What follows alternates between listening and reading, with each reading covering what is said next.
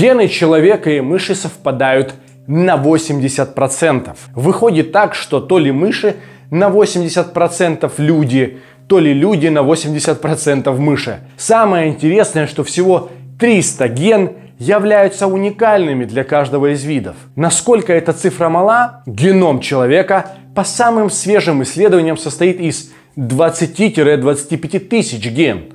Ранее считалось, что их 28 тысяч. Схожесть человека с грызунами является причиной, по которой огромное количество лекарств, косметики и даже продуктов питания тестируется на мышах и крысах. Исследование, которое показало, что 20-минутная кардиотренировка, а именно бег, приводит к нейрогенезу, а именно появлению новых клеток мозга, изначально было проведено именно на мышах. Можно ли считать, что 80% геномная схожесть между человеком и мышью делает нас похожими? Похожими в поведении, в принятии решений, в социальном выборе и определении социальных ролей? Можно ли, следя за определенными группами животных, видя, что с ними происходит после того, как их поместить в определенные искусственные условия, понять, что нас ждет в будущем? Что-то хорошее или плохое? Многие представители ЛГБТ-сообщества ссылаются на однополые половые связи животных в качестве доказательства, что однополые отношения – это нормально и природно. Почему же нельзя тогда ссылаться на представителей фауны и в других вопросах? Тем более, когда набор ген между некоторыми из них и человеком совпадает аж на 80%. Около 50 лет назад, в 60-х, 70-х годах прошлого столетия был проведен ряд экспериментов над мышами – самый известный из которых назывался «Вселенная 25». Проводил эксперимент Джон Би Келхун, американский этолог и исследователь психологии, исследователь связей проблем популяционной плотности и ее влияния на поведение человека. В Рунете достаточно давно появилась статья, посвященная эксперименту Вселенная 25 и его результатам. Статья называлась «Как рай стал адом». Действительно, окончание эксперимента было удивительно жутким и страшным, но суть не в этом, а в том, что то, что происходило во время эксперимента, удивительно ложится на современную действительность. Можно ли благодаря этому эксперименту проследить корреляцию происходящего с людьми и предвидеть неминуемую, и следует сказать достаточно страшную гибель человечества? Изучая этот вопрос, сравнивая жизнь мышей и людей, чьи гены, повторюсь, совпадают – на 80% можно прийти к жутким, но интереснейшим выводам. И сегодня мы с вами поговорим о них. Благодаря этому вы, земляне, поймете, насколько близко вы находитесь у пропасти и как именно будет выглядеть падение в нее. Если ты смотришь это видео, мой друг, ты и есть последнее и настоящее сопротивление тем, кто толкает человека в пропасть. Ты на канале Нулевой Пациент. Здесь говорят о самом интересном и важном –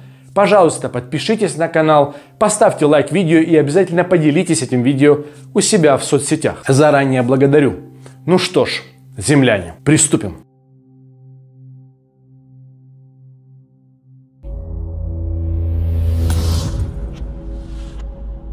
Друзья, желающие поддержать развитие нашего проекта и канала, и вообще все те, кто любит читать не всякую фигню, а интересную сюжетную литературу, настоятельно рекомендую и прошу покупать мои книги. Книги, которые являются бестселлерами и хитами. Несмотря на тревожащие и порой скандальные названия, эти книги снискали себе большую аудиторию, потому что они интересные и очень даже хорошие. А что я еще скажу о своих книгах?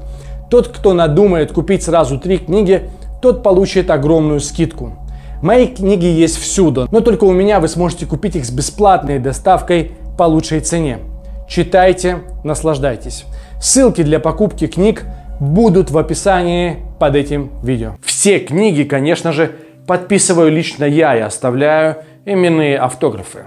Долго и много рассказывать об эксперименте Вселенная 25 не нужно, да и невозможно, так как информации о нем не так уж много. Пару однообразных статей до страницы в Википедии. Все, что представляет настоящую ценность, это основные вехи в проведении эксперимента и выводы, которые следует сравнить с современной действительностью. Прежде чем я перейду к сути, я должен сказать, что существует и критика данного эксперимента – достаточно серьезная и авторитетная, ставящая под сомнение результаты. И ее бы можно было воспринимать всерьез, если бы не то, что вы узнаете дальше. Вы же сами можете все сравнить и понять. Результат пугающая правда или нет. Итак, в 1972 году совместно с Институтом психического здоровья Джон Келхун провел эксперимент над мышами, который заключался в том, что несколько здоровых пар мышей поместили в некий резервуар, в котором при увеличении популяции могло поместиться тысячи мышей. В данном резервуаре всегда было в более чем достаточном количестве еды, то есть возможный голод был исключен. Там было всегда в обилии воды, а также постоянно поддерживалась комфортная для жизни грызунов температура. Каждую неделю резервуар регулярно чистился до идеального состояния. То есть мы с вами имеем идеальную утопию, о которой многие из живущих на Земле мечтали и мечтают. То есть вдоволь есть всего, что только можно пожелать. Нечего ссориться, ругаться и воевать. Плодитесь и размножайтесь получаете удовольствие от жизни. Однако эксперимент закончился спустя всего 4 года и 3 месяца после начала. Ведь спустя 1780 дней после начала эксперимента Вселенная 25 погибла, находящаяся в резервуаре последняя мышиная особь. Несмотря на то, что резервуар мог вмещать в себя практически 10 тысяч мышей, популяция грызунов никогда не превышала 2200 особей. Забавно, правда? Как так получается, что утопичная цивилизация мечты погибла в столь короткий срок? Почему? Помните историю, которую рассказал мне Дмитрий Гордон? Быть может, суть в этом? Он пришел в зоопарк в Ялте когда-то.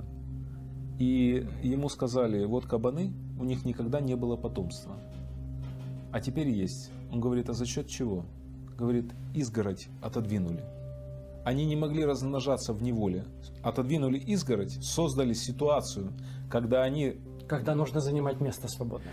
То есть мышам не хватило места, не хватило мира, чтобы развиваться и размножаться. Можно было предположить, что это так, но это не так, ведь если среда обитания вида ограничена, вид не вымирает, он только контролирует свою популяцию – в том числе и с помощью других видов. Охотники отстреливают волков, если их стало слишком много, а волки, в свою очередь, уменьшают популяцию зайцев, если их слишком много, и так далее. Поначалу грызуны, оказавшись в раю, о котором всегда мечтали, плодились очень активно, и их популяция удваивалась каждые 55 дней. С 315 дня темпы размножения стали сильно уменьшаться, и популяция мышей стала увеличиваться лишь каждые 145 дней. В этот момент новый рай населяло 600 мышей, и места для всех стало незначительно, но все-таки меньше. И вот, как и в любой социальной группе, находящиеся в замкнутом пространстве, начали появляться классы. Среди мышей появились так называемые изгои.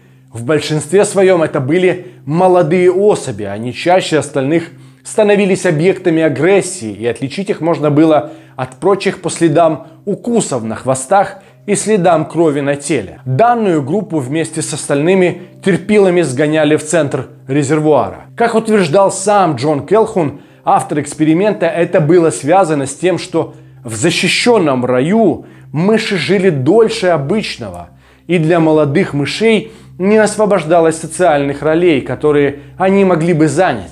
Стареющие мыши не освобождали место для молодых особей. После изгнания самцы психологически ломались и проявляли меньше агрессии, не желая защищать своих беременных самок и занимая при этом несвойственные им социальные роли в обществе. В итоге именно самки стали защищать себя и потомство, проявляя агрессию. Агрессию самки впоследствии стали проявлять по отношению к собственным детям и даже убивать их. Смерть молодняка стала достигать значительных величин.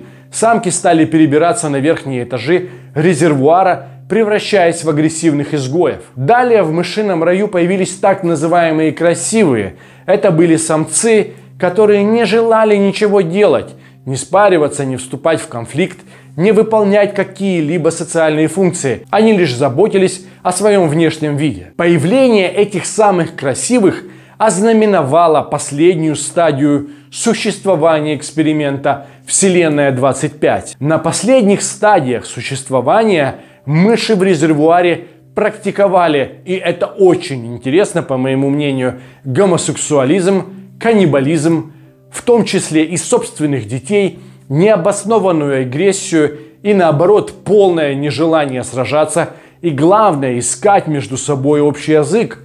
Они существовали обособленными небольшими социальными группами. Далее эксперимент закончился. Все мыши умерли. На это понадобилось всего немногим больше четырех лет.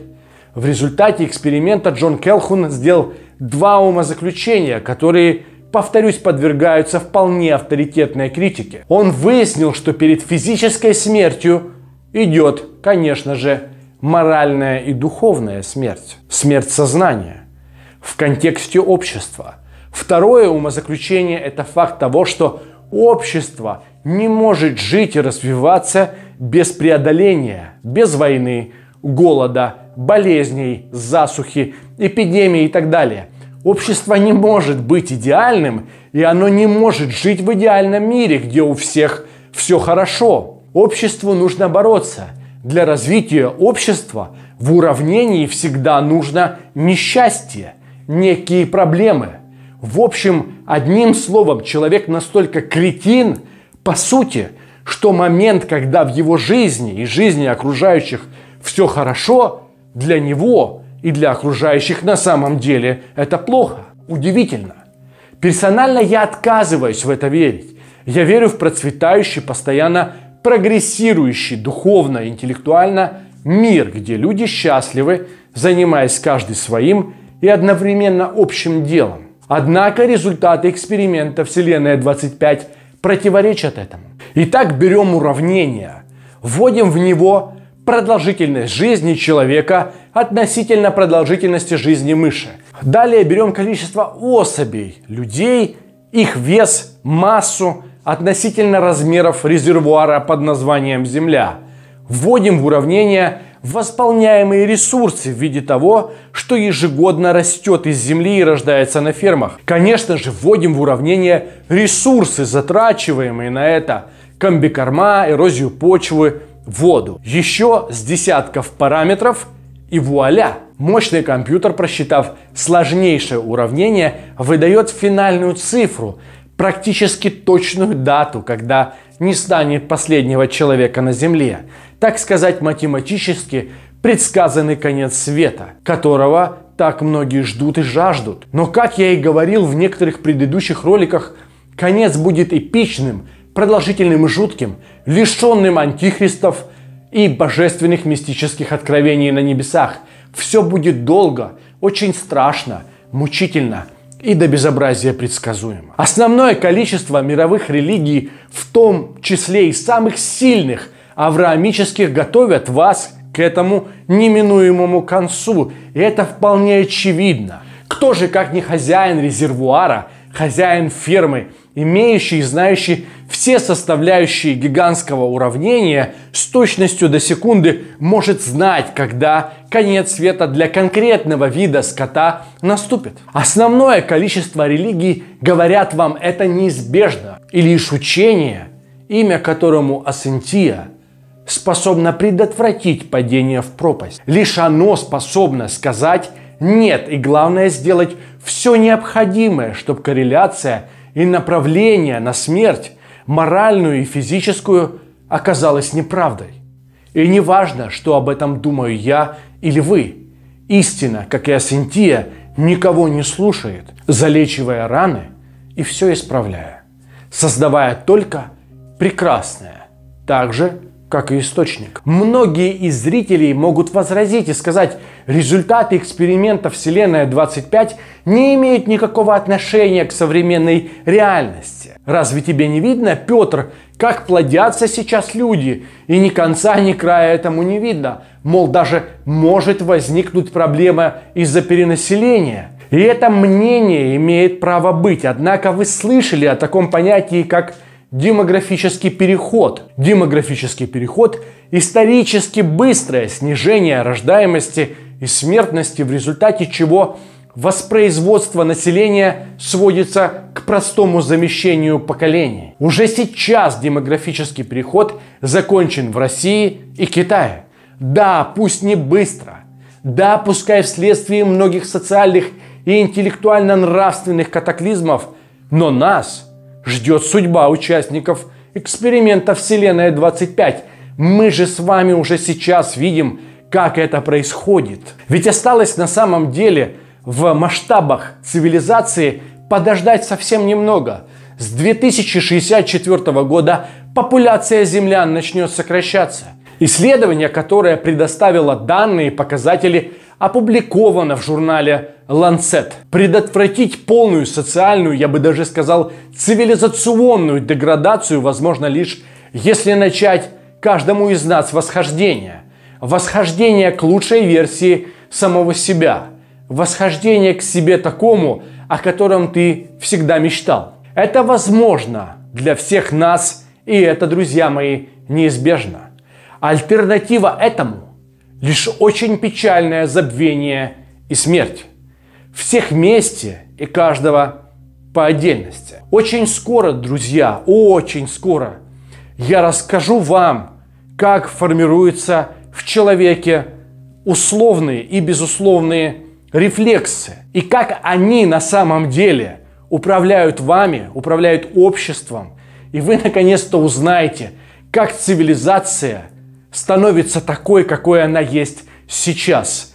Вы недооцениваете мощь сформированных вас в вашей голове нейронных путей. Как сотни лет генетически, информационно для всего общества во всех уголках мира, и от этого невозможно никаким образом скрыться, формируются в людях привычки, мнения – понимания, которые не имеют никакого отношения к правильному взгляду на действительность.